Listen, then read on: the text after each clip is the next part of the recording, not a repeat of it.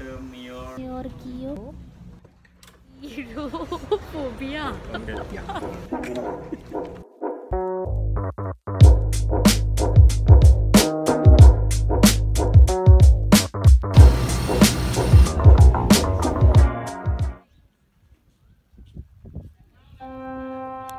The fear of uncertainty is called. Hmm, I don't have it. And the fear of heights. Not that either. Etylogiophobia. Well, that's the fear of not being creative on a piece of paper. Making content is satisfying for me. But when there is no content, and when your brain freezes on processing, uh, that that's kind of sucks.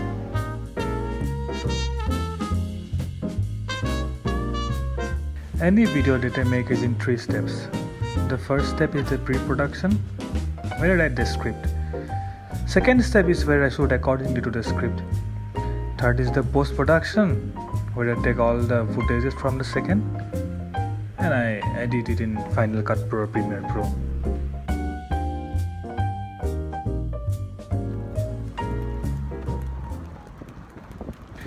Well, I was going to upload a travel video this time, but something happened.